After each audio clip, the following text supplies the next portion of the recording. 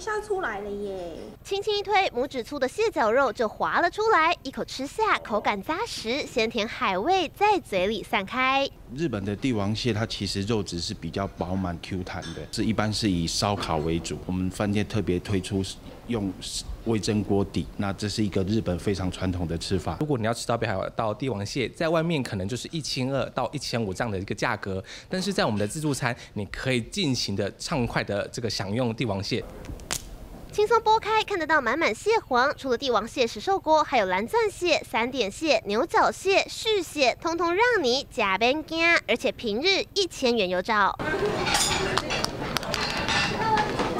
打开蟹壳，金黄色的饱满蟹膏映入眼帘，口水都快跟着满满汤汁滴下来。另一家业者则是推出手掌大的大闸蟹，放好放满，铺上紫苏叶一起蒸，不仅去除螃蟹寒气，还能锁住蟹肉清香。我们用蒸姜醋，然后还有姜，加热之后让那个姜。姜的味道和正江醋融合，然后我们就用大闸蟹沾着正江醋一起吃。